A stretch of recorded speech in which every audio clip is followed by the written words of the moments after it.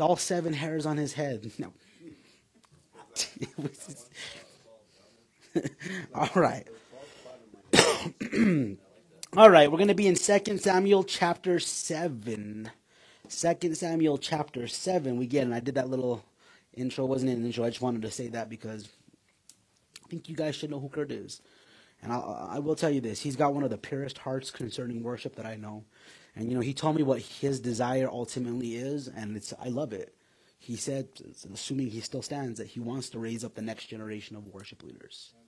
You know, and, and I'm going to tell you what my favorite thing about the way he does worship, as as long as I've known him, it's nothing's changed, as it's not a show. You know, I've been to the big churches, I've worked in some of the big churches, and one of the things I've never liked is the show. The shows are hard for me to worship.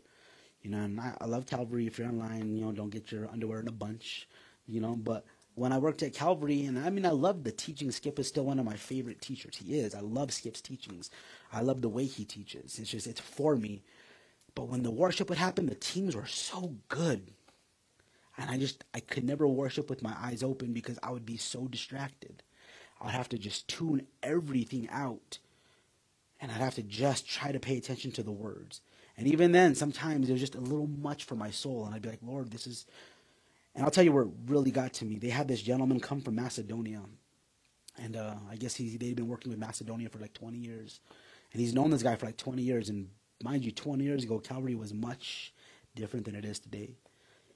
And I remember sitting there, I was like, this is cool. Like the Macedonian man, this is like the guy that Paul saw in his vision.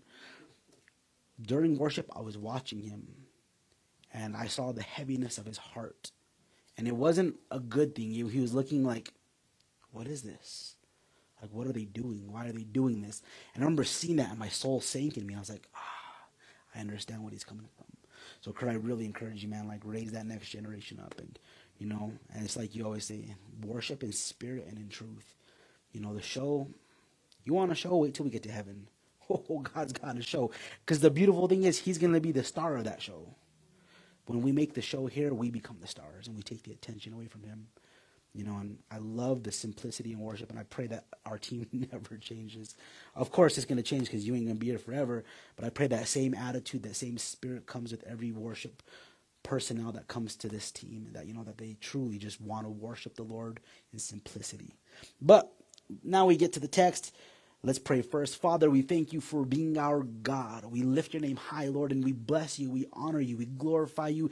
We praise your holy name, Lord. And we just, ah, we open our hearts and our hands to you and ask that you would place in us and in our hands what it is that you have for us, that you would get our minds off of ourselves, get our minds away from the distractions of life, of our jobs, of our spouses, of our kids, Father, of anything that's keeping us from centering our attention on you. And we ask, Lord, that you would be our teacher this evening. Father, I ask that you'd get me out of my way and get me out of your way, Dad. Just do your thing. Move mightily through me. Speak, Father. I, I just want to be an open vessel. And I pray that you'd open our hearts and our minds, that You'd take out the things that don't belong and fill us with you who belongs.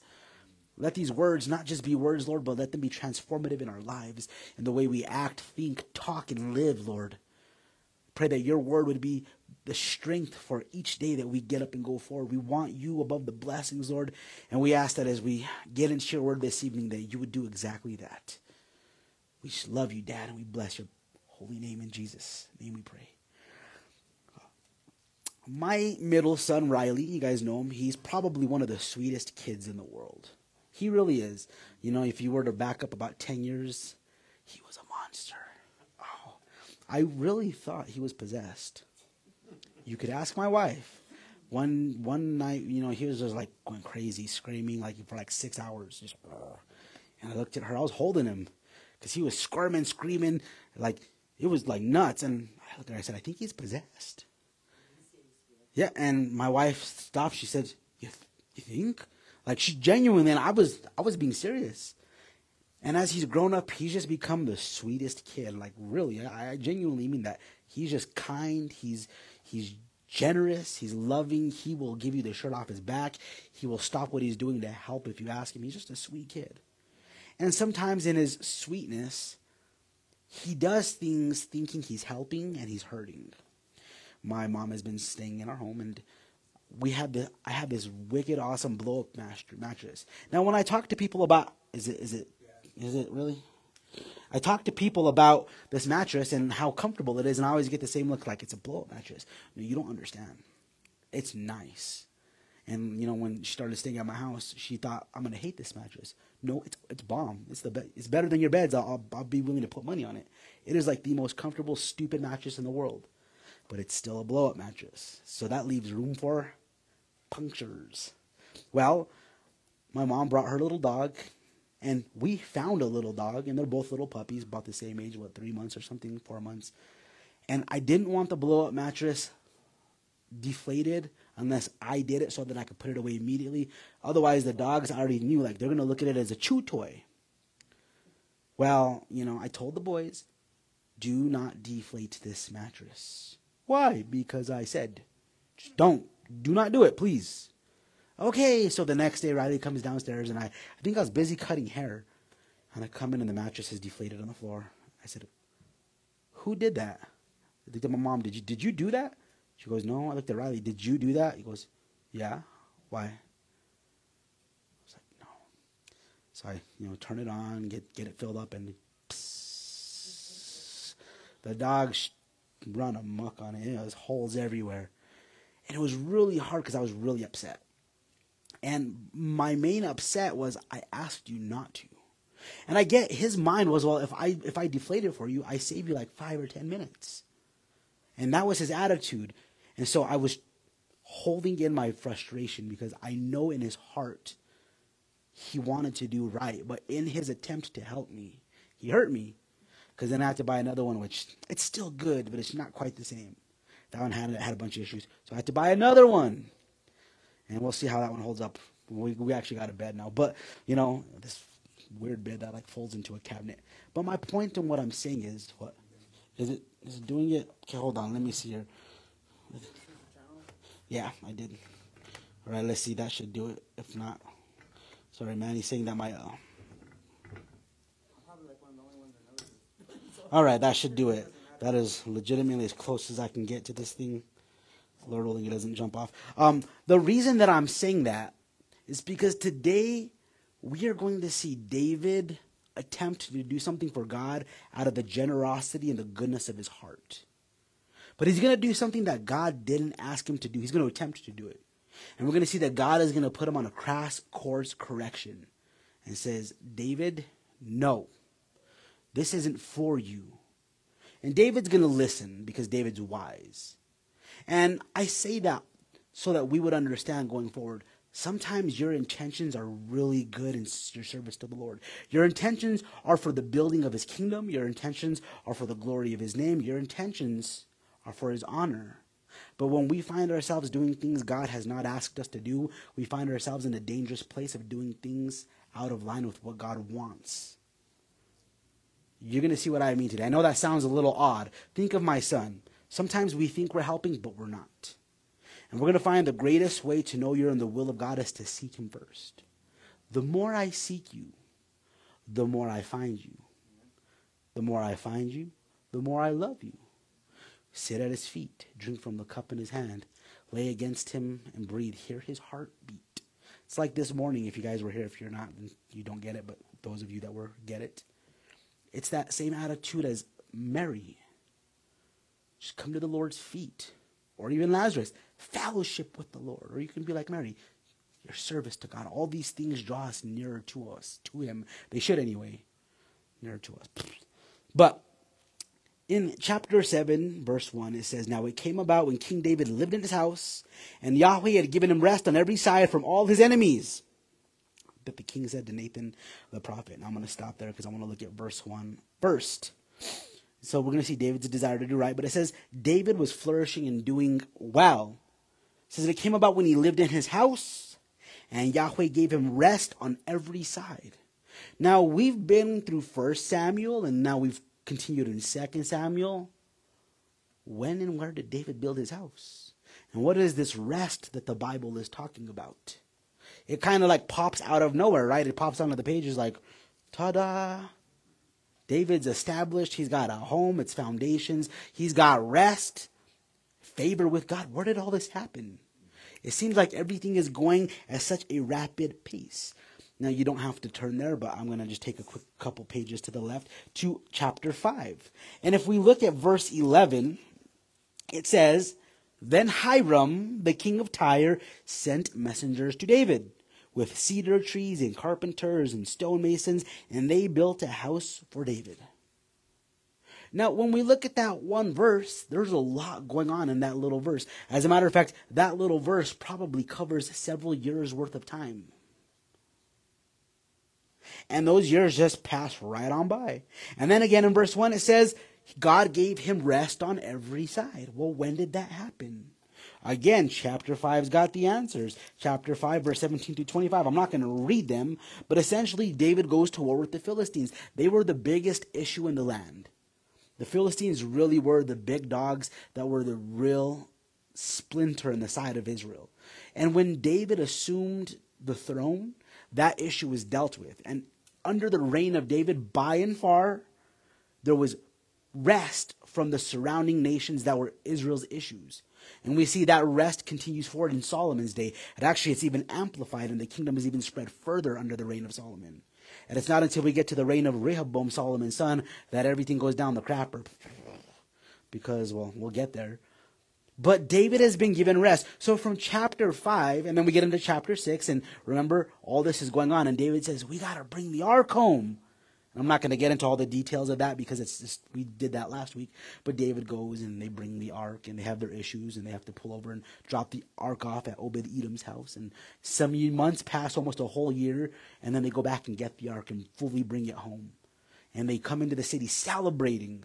And now we're in chapter 7, and David's built a house, David has rest. And for us reading, it's just two little chapters, less than a 100 verses. But yet, in the life of the scriptures, years have passed. And I say that because for us, it's important to remember that in the scriptures, there are large time gaps throughout. When we look at chapters, when we look at verses, again, chapter 5, verse 11, in that little verse from verse 5 to verse or verse 11 to verse 12 months if not years have passed because mind you when they built a house back then it wasn't like they do today it was a much more complex system. And mind you david built what would be a mansion considered in that day a palace. Time has passed. And for us we read the scriptures and sometimes i get a sense of discouragement reading the scriptures. You know you, you know you look at the life of Paul. You look at the life of the apostles, the disciples. You look at the life of the people of the Bible and the prophets, and it's like from glory to glory to glory to glory to glory to glory to glory to glory. And then here we are, and God used us like six months ago at the gas station. And, you know, I, have been waiting to be used ever since. And then finally, six months later, yeah, God showed me something in His Word. And then four more months pass, and and it, it can be discouraging because it feels like maybe we're living the Christian life wrong. Because we read the Bible and it's like from mountaintop to mountaintop. And when we read the scriptures, not we don't realize that there's often massive time gaps, sometimes between verses, between chapters, even between books. Tip for sure between books. And it's important for us to remember that that when these things are chronicled, they're chronicling the highlights primarily of the things happened. Because if they were to chronicle every little detail, it'd look much like our lives. I'd imagine there are times where David didn't hear anything from God. Hence, we hear the Psalms sometimes, and they're dark, and they're ominous, and they're depressing. And David feels left and abandoned because there were times where David felt discouraged. And so I want us to keep that in the forefront of our minds that there are massive time gaps and that you keep being faithful to the Lord. And you might have a mountaintop experience often, like once a month, sometimes a couple times a month. Sometimes it doesn't happen for six months. That should not change your faithfulness and your servitude and your worship to the Lord. We don't worship God for the mountaintop experience. We worship the Lord for He is God and worthy of that worship. And with that worship comes times of peace and mountaintop experiences. And we revel in those and we keep those in the back of our minds as Ebenezer stones. You guys remember what those are? Stones of remembrance. And we look at those times when God was magnified and we say, ah, I might be in a valley, but I know one of those is coming here in the near, near future. And we keep our eyes on the Lord and not on the blessing. But David, since chapter 5 and 6, he's had a house built. He's been given rest on all sides from his enemies. And in verse 2, that the king said to Nathan the prophet, See now, I dwell in a house of cedar, but the ark of God dwells within tent curtains. He looks at his life. He says, My beautiful house. I got all this rest. I got all this favor from God. I got all this wealth now. And God's over there in a tent. What do I do about this? Now, what David really wants to do is he wants to give God a permanent residence. And partially because that is one of the things God is desiring. Because God is looking for a place for his name to dwell. And that is eventually going to be Jerusalem. However, where David has made the mistake is he's assumed the will of God without consulting God for his will. And that's where we often make the mistake. What David is going to desire, what he did desire in this passage, is a good desire. But that desire wasn't David's to fill out. And that's why I say sometimes we think we're, we're helping God and we're not. I'll give you a great example. Sometimes we help people thinking we're doing them good, but we're truly holding them down. Sometimes people need to be let go so they can fly. And if you never take your thumb off of them, they'll never lift up and soar. And our fear in taking our thumb off of them is well, what if they fall? That's their fault to work out with God. And if they don't fall, they'll never learn to spread their wings and fly because they become dependent on us. And they need to learn to become dependent on the Lord. And again, I've done this. You know, I've had several people in my family that were addicted to drugs and alcohol. And, you know, you're always there to save them. You're always there to save them. You're always there to save them. And then they learn, I'll always have you to depend on to save me. So it's okay if I mess up. No. And so I learned, let go. There's, they're God's issue. Some of them spread their wings and flew. Some of them are messed up right now. But it's God's to deal with, not mine. You know, like my brother is one of those people right now. And I've told him, you know, I won't help you the way you want help anymore. If you want help, I'm going to help you my way. And if my way is not for you, then my help's not for you. I love you and I'll pray for you and I'm here for you, but we're going to do it this way or no way. Because I've, I've tried it your way and I know it's never going to work. It was always, I just need money for a hotel, for drugs, for yada, yada, yada. I don't want to go to rehab. I don't want help. I don't want, then I can't help you. If you want help, we're going to do it this way. But here David is with this desire to take God out of, out of his tent and to elevate him into a permanent residence in the land. Verse 3 Nathan said to the king, Go, do all that is in your mind, for Yahweh is with you. Now, my version says mind, some of your versions says heart. And there's a reason for that, and I feel like you, most of you probably know this. We've talked about it, but I'll say it again. Is in antiquity, the heart was considered the seat of thought. It is where the intellect took place. It's where you consider things here, and they considered the bowels or the gut the place of emotion. And we still use those phraseologies today. We'll say things like, I remember my mom when we were young. Sorry, I'm throwing you on the spot, but I remember her saying, I hate him with all my guts. I don't remember who she was talking about, but I remember hearing that. I was like, with your gut. The one that we're all more familiar with is I feel it in my gut. It's a gut feeling. Because the gut was the place of feeling and the heart was the place of thought. We've now come to understand that the mind is actually the place of thought. And the heart is just a beating muscle. And yes, there are neurons, it turns out, in the heart, but your heart can't think. You know, if you hook yourself, hook yourself up to a blood machine that can act as your heart and remove your heart, your brain still functions the same. The brain really is the place of thought. The heart has neurons for its own purposes, but it can't think. If you shut off the brain, the heart can't think for you. You die. The brain really is that place. This is the Holy of Holies in our temple. Here is where the Spirit of God dwells. The heart, it's an important muscle, really important. You die without it. Actually, you can live without it. You can stick a pig's heart in you and live, technically, you know. They've done that. But that's the heart. Nathan tells David, do it. Do it. Look how he says it, though. Go, do all that is in your mind, for Yahweh is with you.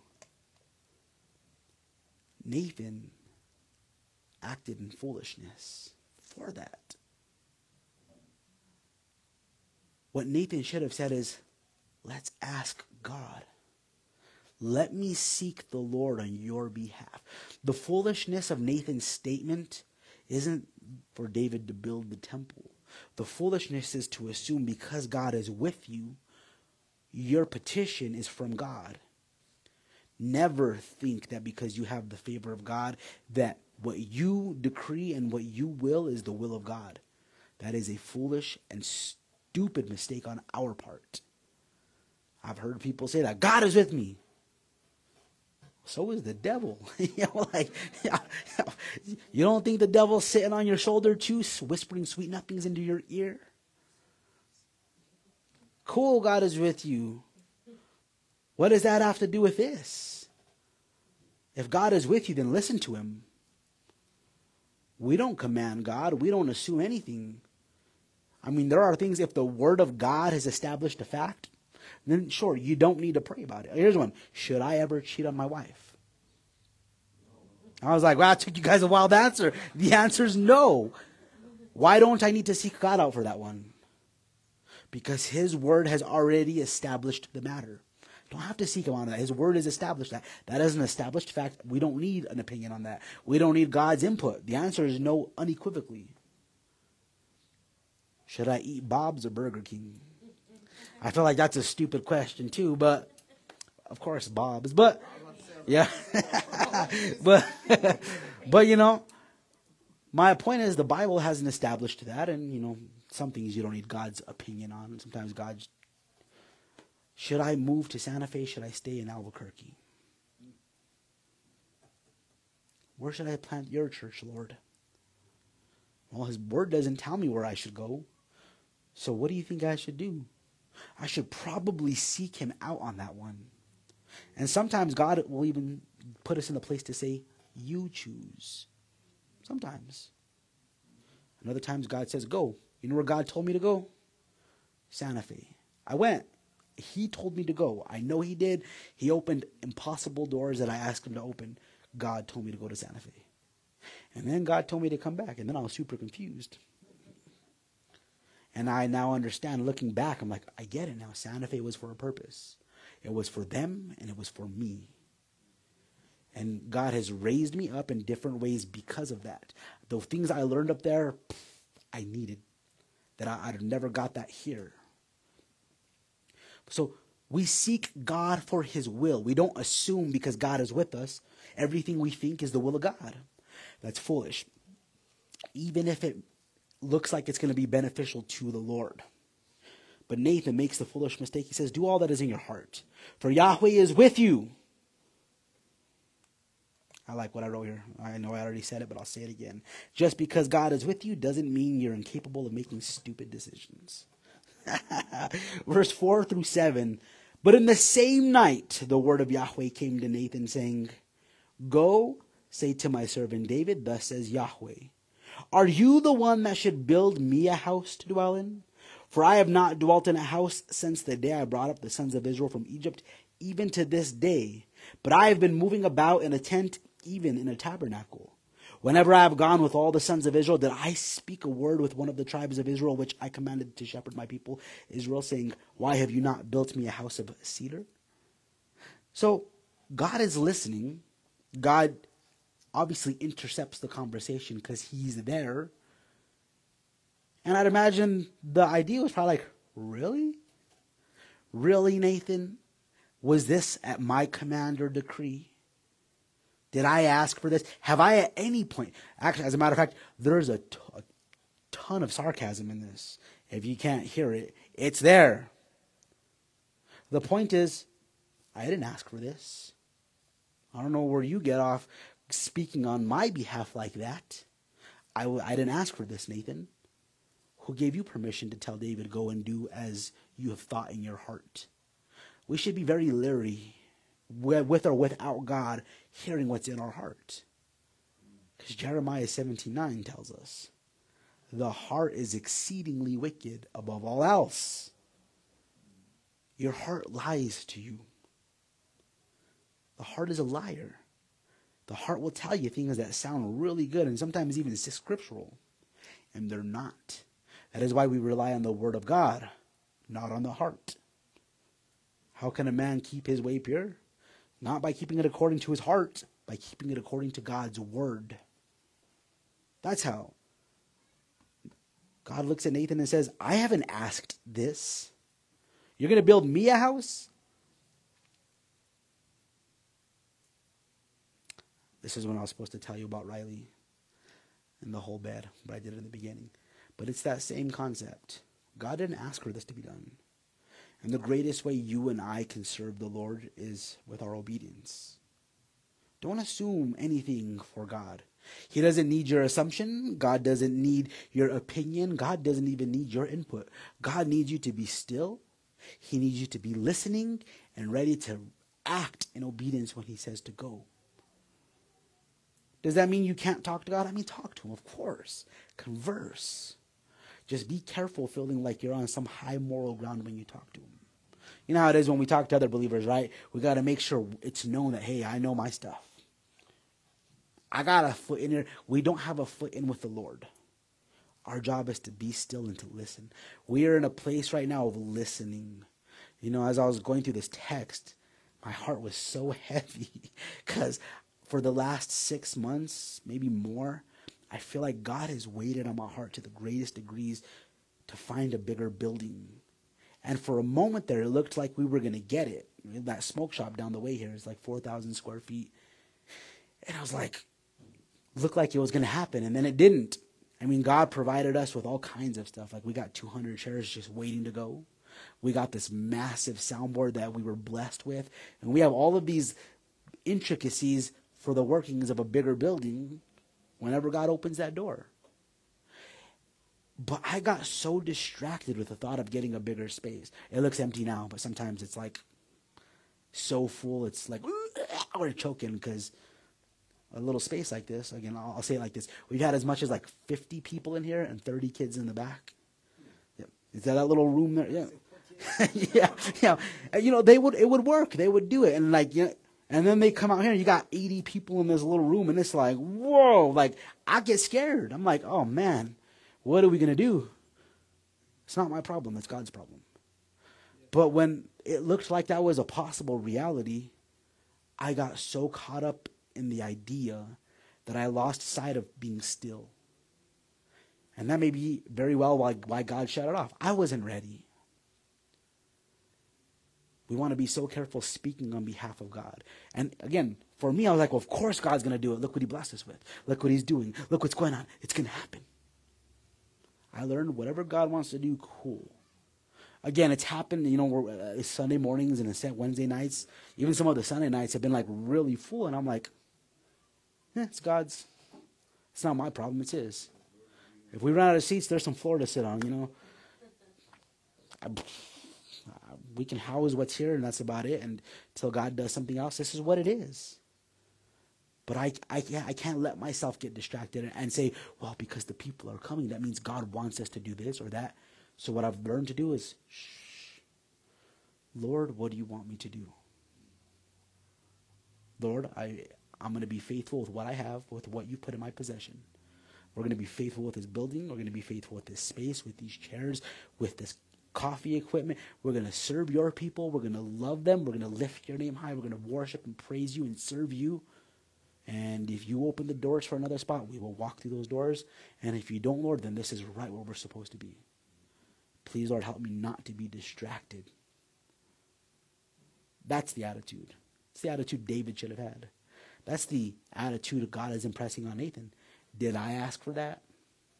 Did I say to do this or that? Have I spoken to any one of my people? The answer is no. Verses 8 and 9, he says, Now therefore, thus you shall say to my servant David, Thus says Yahweh of hosts, I took you from the pasture, from following the sheep to be ruler over my people Israel. I have been with you wherever you have gone, and have cut off all your enemies from before you. And I will make you a great name like the names of the great men who are on the earth. God reminds David that he's the one who's in control. Verse 8, he looks at David's past. And verse 9, he looks at David's present. He says, I took you from the pastures, David. I'm the one that plucked you up as a shepherd of sheep to be a shepherd of my people. I love that because God is essentially telling David, I chose you. You didn't choose me. And then he goes on to say, I have been with you. I have delivered you from your enemies, and I will make your name great. There's an emphasis in those two verses. And the emphasis is on God. I, I've done this. I'm in control. I'm the one leading. I'm the one directing. I'm the one calling. You're the recipient here, David. In verse 10 and 11, he says, I will also appoint a place for my people Israel, and I will plant them, that they may live in their own place and not be disturbed again. Nor will the wicked afflict them any more as formerly, even from the day that I commanded judges to be over my people Israel. And I will give you rest from all your enemies. Yahweh also declared to you that Yahweh will make a house for you. He says, I will appoint a place for my people. I will bring a place of permanence. Your job, David, is to be still. Your job is to listen. Your job is to obey. I will lead. I will direct. I will make happen. And when I open those doors, you walk. I've found that if we're busy trying to make God's will happen for our life, we'll be too busy and loud to hear Him when He talks. I'm confident of that. And I believe many of us miss the voice of God because we're busy about our will instead of God's. Or we're busy trying to make God's will happen in our lives instead of actually listening to what God's will is for us. God speaks softly. He's not a husband who is aggressive. He's not a husband who is in your face and loud and obnoxious. He's tender and his voice is soft, stern but soft. And if you're busy talking, if you're busy moving and doing things you shouldn't be doing, you're going to have an extraordinarily hard time hearing his voice. He says, I will appoint a place for my people, for their permanence. And then he ends verse 11 saying, I will make you a house, David. You desire to do this for me? No, no, no. You got it backwards, buddy. I'm going to make you a house. Now, God's house is a more permanent house than the house David had in mind. David wanted to take him out of the tent and put him in a structure. God says, I'm going to build you a family, David. Now, I believe God says that for a really good reason. If we were to rewind to the last king, Saul, what happened to Saul? Him and his descendants are dead. Not all of them. We're going to see most of them are going to die coming forward. But the, the, the, the line to the throne is dead. Saul and his sons are, are, are dead. David is assumed to the throne at the will and decree of God. Even the throne, David didn't take that. God gave it to him. And I'd imagine in David's heart there's a quaking. What if I fail like Saul failed? doesn't say he said or thought that, but you would have to imagine that thought would perpetuate in his own mind, saying, God took it from him. What if he takes it from me? I better build God a house. I better tiptoe and be on my best. That may very well be what's in David's heart, which may be why God says this exact thing. I'll build you a house, David. And we're going to see here in a moment that house is his descendants. In essence, David, what I'm promising you isn't contingent on you. What I'm promising you, this is called an unconditional promise, meaning there's nothing you can do from, to remove this promise from my hand. That I'm going to do this because of my namesake. Has nothing to do with you. Because ultimately, what God wants to do is bring a certain person out of the line of David. You guys know what his name is? Jesus. Yeshua HaMashiach. Shiach. You, you, it's not from appearance, from down there. Hamashiach. No, it is. It's from the back, the back and the bottom of the throat. But anyways, that's that's that's who God is essentially looking forward to in the future. That's going to be the permanence of David's house, his Messiah, Mashiach. And he tells him, "I'm going to make you a house, Dave. verse 12 through 15. When I find verse 12. when your days are complete and you lie down with your fathers, I will rise up your descendant after you, who will come forth from you, and I will establish his kingdom. And he shall build a house for my name, and I will establish the throne of his kingdom forever. I will be a father to him, and he will be a son to me. And when he commits iniquity, I will correct him with the rod of men and the strokes of the sons of men. But my loving kindness shall not depart from him, as I took it away from Saul, whom I removed from before you. And I believe right there, God is addressing the worry that's in David's heart. I won't do to you what happened to Saul. It was never about Saul. It was never going to be Saul. It was always about David. David just wasn't ready. Israel was in rebellion. So God said, You want a king? Here you go. Enjoy. Learn this lesson.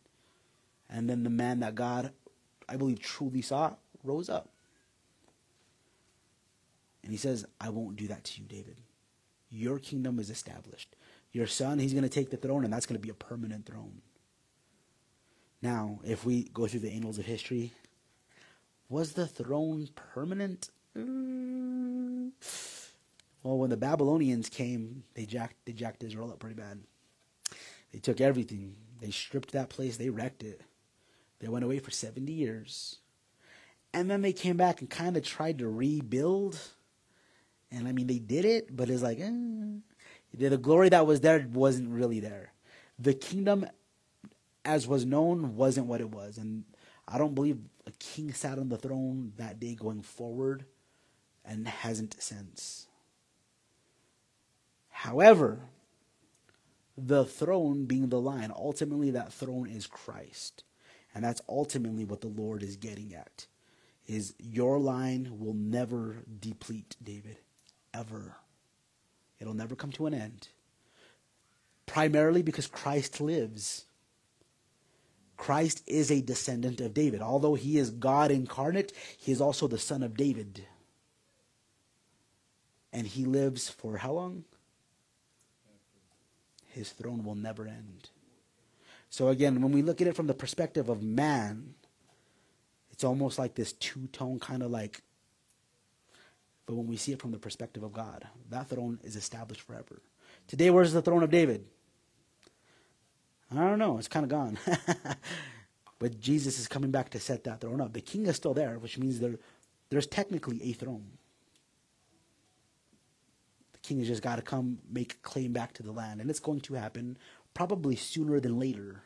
But that is the essence of what God is saying. I believe he is quieting David's trembling heart, the heart as his emotions toss to and fro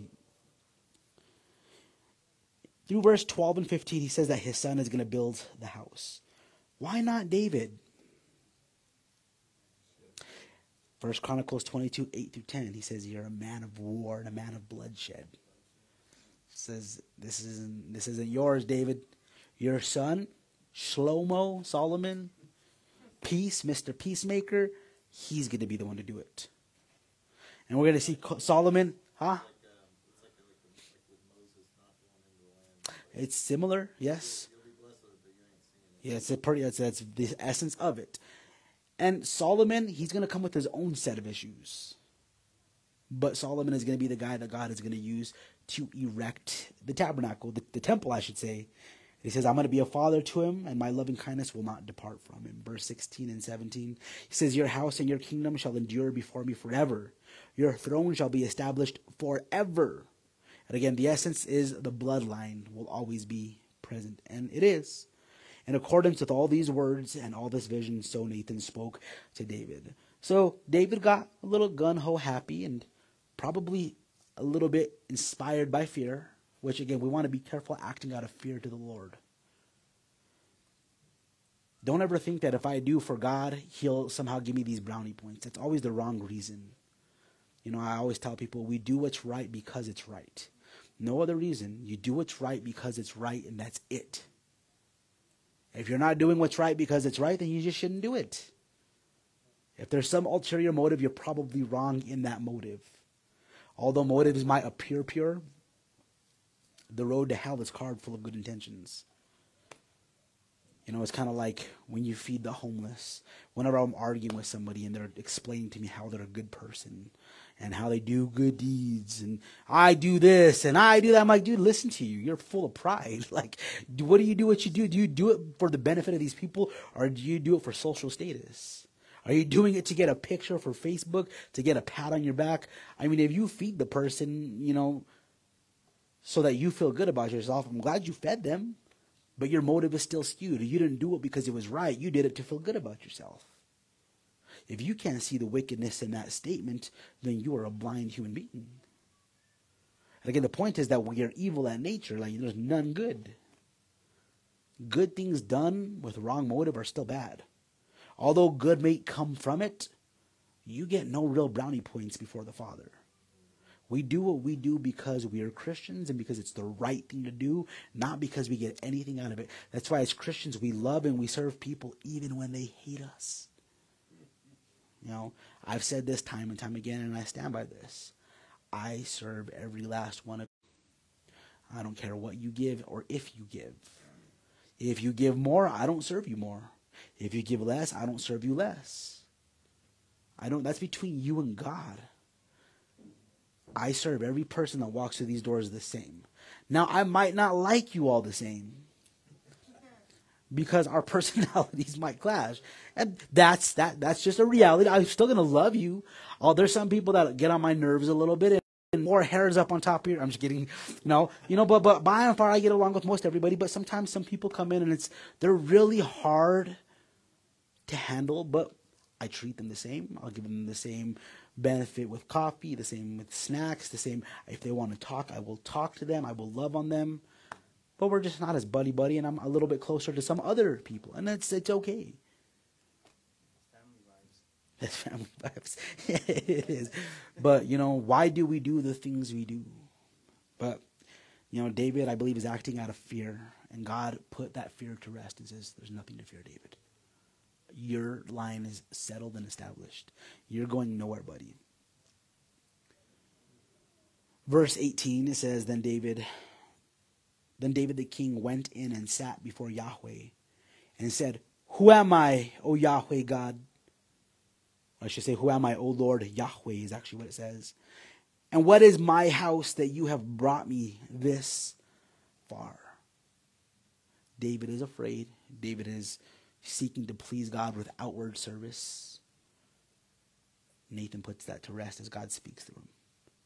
And so David responds in adoration and he comes to God and he praises him.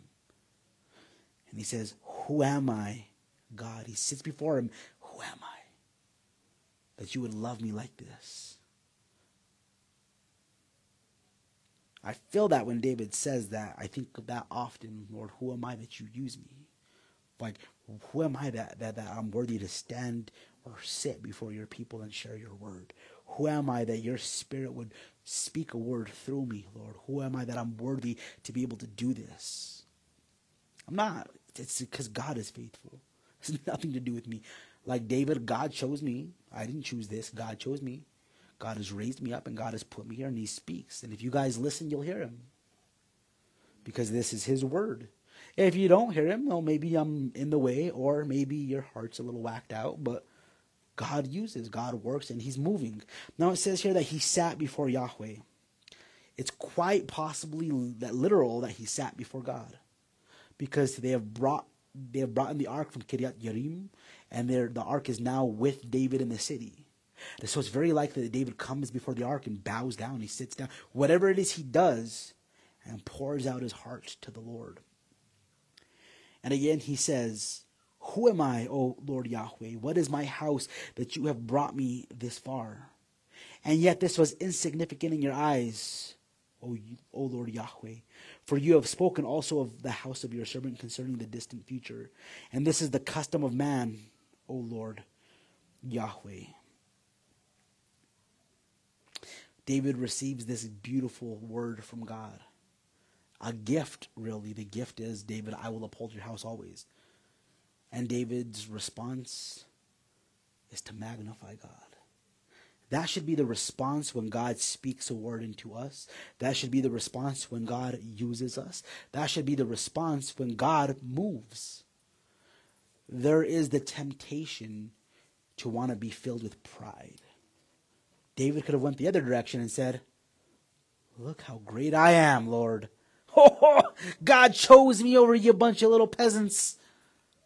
David is dismayed though. He's he can't believe it. Who am I, Lord? I'm nobody.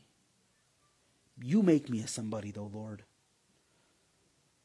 Humility is one of the key attributes of a person truly following after the Lord.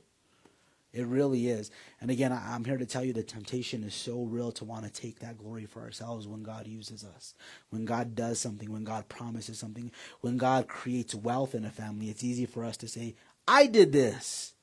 I made these moves. I get up and go to work. I'm the one that runs the, the, the, the payroll. I'm the one that invested. I'm, and you hear all those eyes. That's pride. Rather than, you know, God has really done a great work here. God opened these doors and man, look what he did. Look how much God is working. Look how look how God is doing. Look, do you hear the difference? One magnifies me, the other magnifies him. David has the right response and the right attitude. He magnifies God and he blesses his name and he, he blesses him for that gift. He doesn't take it on his own. But then he says something really interesting in verse 19. And this one really caught me. In verse 19, he says, This was insignificant in your eyes, O Lord Yahweh, for you have spoken also of the house of your servant concerning the distant future. And this is it right here. And this is the custom of man, O Lord Yahweh. When it says this is the custom of man, it literally says in the Hebrew, this is the law of man. In Hebrew, it's literally written out like this Ozat Torah uh, Hadam Adonai Yahweh. Torah Hadam, the law of Adam, is literally what the Hebrew says. And I wonder, I'm not saying it is. I read, I, I spent a lot of time right here trying to figure out what this means. Because whenever I'm studying, I, I really want to bring you guys food. And this chapter was really hard, you know, especially when I got there because nobody had anything productive to say. The things that I were seeing, they weren't making a whole lot. You know, when somebody wants to sound smart, so they say stuff to that way it just doesn't look like they don't know what they're talking about. But if you really go back and look and listen to what they were saying, it's like that has nothing to do with what this is saying. And I, I came across a lot of that. Nothing that people were saying made sense, and most people stayed silent on the matter. So I, I pulled up some of Skip's videos. What does Skip say? Nothing. What does who say? No, I can't. Nothing bothering me. And I'm like, and when I get like that, I get all antsy. I can't move past the verse till I understand it. To, to some degree. But I find it interesting. Torah Adam. The law of Adam. Torah Adam. And I wonder if in David's mind he's thinking back to Genesis chapter 3, verse 15. The proto evangelium. If you're with us on Wednesday nights like a year and a half ago, two years ago, we were in Genesis. And the third weekend, we got to Genesis 3. And in 3:15, God is standing before the devil, before Adam and before Eve because the fall has just happened. They've rebelled against God. And he looks to the serpent and he tells the serpent, "Her seed will crush your head." When God mentions her seed, that's called proto-evangelium. Proto means first, Evangelium means a mention of good, the good news. The, the first mention of good news. That was the first time Christ was implied in the scriptures to come. That's what that means. Because women don't have seeds, women have eggs. Men have seeds. The seed of the man is implanted into the egg of the women, and that's what brings forth the child. God bypasses that and says, Her seed is going to stomp your head, talking to the serpent which means God is going to do something miraculous. We call that the virgin birth, the mention of Christ coming. And I wonder if David looks back at that and says, the law of Adam, so to speak, because God's word is the law. What God promised Adam is, is this what you're talking about, Lord? I don't know, but in the Hebrew, Torah ha'adam, The Torah of Adam, the law of Adam. It's literally what it's saying. Or you can say the law of man, because Adam means man.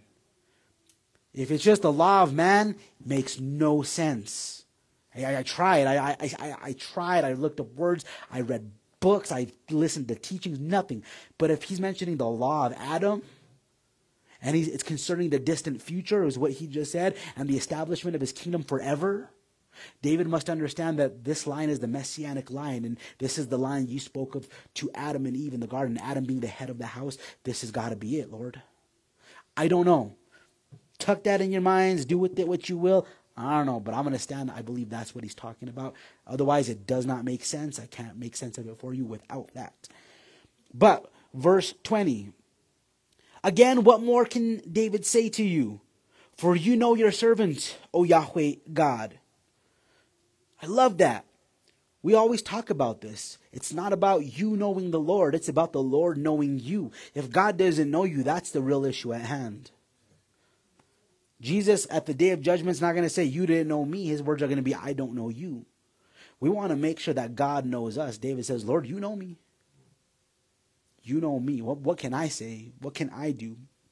Verse 21 For the sake of your own word and according to your own heart, you have done all this greatness. Let your servant know. He says, You are great, God, and I acknowledge your greatness. There is none like you. He moves from his personal experience to his historical evidence. Verse 21, he uses that personal experience. And then 22, the historical evidence says, For this reason you are great, O Yahweh God. There is none like you, and there is no God beside you, according to all that we have heard with our ears. We have your word, Lord. We are the keepers of your law. These are what you've promised from long ago. Lord, I can tell in 21 because of what you've done for me, your loving kindness, your greatness, and not just in my personal experience, what you've promised through the historical do- documented data. Lord, we can stand on what you're saying, is essentially what David is saying. Verse 23 and 24. And what one nation on earth is like your people Israel, whom God went to redeem for himself as a people and to make a name for himself and to do a great thing for you and an awesome thing or awesome things for your land before your people whom you have redeemed for yourself from Egypt for nations and their gods for you have established for yourself your people Israel as your own people forever and you O Yahweh have become their God he says, Your people are uniquely yours. You redeemed them from Egypt, and you have established them as your people. Again, he's just looking again the history. Lord, my personal experience, and historically speaking, I stand on what you're saying. I know this to be true, and we can rely on that. And I think that's a really important principle for you and I. There's two things you can stand on for the validity of God's word your personal experience and what he's done in the past. I've said this before, and I'll say it again. For me, this is a pivotal moment in my Christian walk. Again, when we talk about Ebenezer stones, that's essentially what David's doing. He's looking back to the past on moments where God has been faithful. When I was, I would say, I was, I wasn't new to the faith, but I, I wasn't old. I was a couple of years in, four or five years into the faith, I'd say, maybe a little less. But I was really strong in my walk at that moment. And I was going to the church on the east side. And I remember I was on I 40 coming home, and it was evening already. It was dark. And I remember I was just about I passed Rio Grande River coming west, and I was about to pass under the I forty, um, the the little I is what they call it, the Coors exit. And I remember I had this thought cross my mind that put me in a panic, and the thought was, what if this is all fake? And I panicked, and I was like, what if this is all fake? And like I, I, I literally freaked out in my car doing like 65, 75 hour fast. I was going, I started freaking out. Like, what if this is fake? And I remember God saying, Remember when I changed you and transformed your heart? Remember when I did this and I did that? And God started reminding me of all of these things He had done. And all of a sudden, I had peace. And I was like, I know it's real and I know you're true because of my personal experience and because of what you've done in the past. I freaked out though because you know I'd like to tell you as a pastor I don't have moments of doubt or panic. I do. I do. The enemy creeps in on me just like he does you. And I'm still responsible for having a relationship with God just like you. And I don't get some special pass. If anything, I get hit harder than most of you. And it requires me to be as much or more faithful in my study and my reading and in my prayer. And if I'm not, I get hit significantly harder because if I fall, people fall with me to a greater degree. And I become a public stain on the name of Christ. And then, like was said to David, and we'll see that later, it becomes a mockery to the heathens, and they get to look at God and mock him for the failure of one of his servants who is, so, so to speak, lifted up, so to speak. Not that I'm lifted up, but you get what I'm saying. Our personal experience and what God's done in the past those are important pieces going forward as encouragement, establish, establishing us knowing that what God has done, what God is doing and going to do is set in stone and we are okay. You can you can trail the future forward with surety is my point if I'm not making sense in that. Verse 25 David says, "Now therefore, O Yahweh God, let me read that again. I messed up. Now, therefore, O Yahweh God, the word that you have spoken concerning your servant and his house, concerning it forever, and you do as you have spoken. He said, Lord, make it happen. Who's it on to accomplish this? It's on the Lord. He says, Yahweh, you spoke it, you make it happen. That's the beauty here, too. You know who's responsible for getting you to the end if you're really God's? It really is Him. You still have your responsibility in it, too, though. If you are born again, you can't be unborn again. You'll make it to the end, and He'll see to that. How do you want to make it to the end? That's on you. you know, how rich do you want that entrance to be, and how, or how depleted and minimal do you want that entrance to be? Do you want to get into heaven by the skin of your teeth, or do you want to come in guns blazing, so to speak? If you're born again, you are born again. I don't believe you can lose your salvation. I believe God is bigger than that. Again, I think of my son. You know how my son cannot be my son? He can't. He's that's he's my son. There's nothing you can do about that. And when you're born again, you're his. Again, if you understand in the New Testament when they talk about this term born again, adopted, if you understood how deep those roots are, you can't undo them. In the Greek culture, when you were adopted, it was a process that could never be undone, and you were considered a higher status than an actual natural born son because they looked at it like this the son was born from genetics, but the adopted child was chosen. So when we look at how deep, when the Bible says you're adopted is, it can't be undone. But again, do you want to go into heaven full blessing at hand or just enough to squeeze in because God is faithful? you know, that's between you and God. Verse 26 though, but it is on him. David makes makes that stance here in verse 26 that your name may be magnified forever by saying Yahweh of hosts is God over Israel. And may the house of your servant David be established before you. For you, O Yahweh of hosts, the God of Israel, have made a revelation to your servant, saying, I will build you a house. Therefore, your servant has found courage to pray this prayer to you. I'm going to finish it off. Now, O Yahweh God, you are God and your words are the truth, and you have promised this good thing to your servant. Now, therefore, may it please you to bless the house of your servant, that it may continue forever before you. For you, O Yahweh, O Lord Yahweh, have spoken, and with your blessing may the house of your servant be blessed forever. David takes what God has promised and he stands in it. And he stands in the strength of God's word and what he says and he blesses God and confirms his words.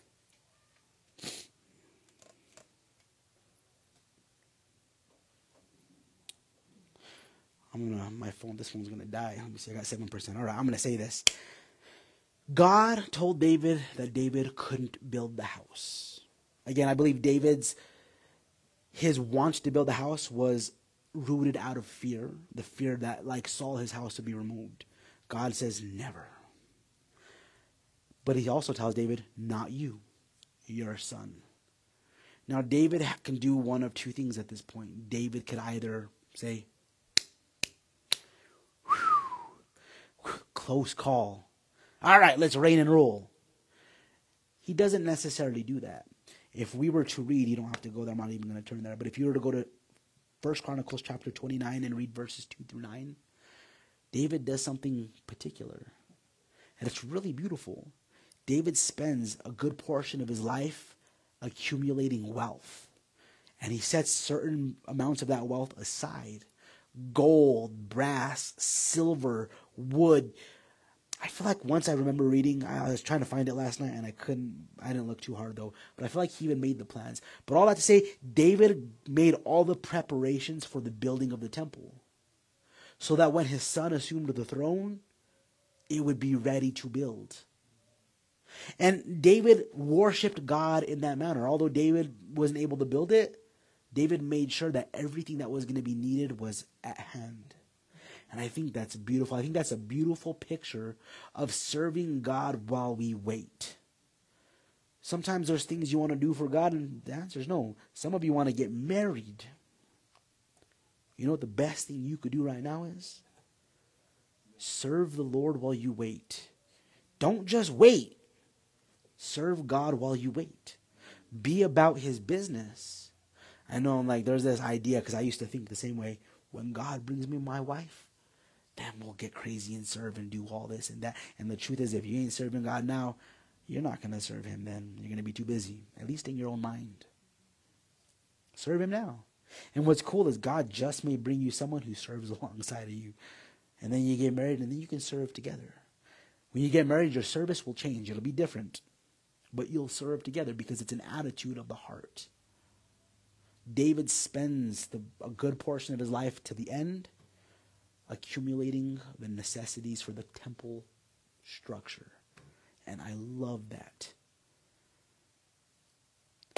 Father, we thank you for being God, and we thank you for your faithfulness, and ask that you would uh, go before us in this coming week, Lord. Help us to be grateful for what you have done in our lives, for what you are doing. We ask, Father, that you be glorified in our thoughts, in our actions, in our words, in our attitudes. We bless your holy name, Lord, and we just ask that your, uh, your will would be done in our lives. Thank you for these beautiful people here and online, and just bless them, Dad. We love you in Jesus' name. Amen.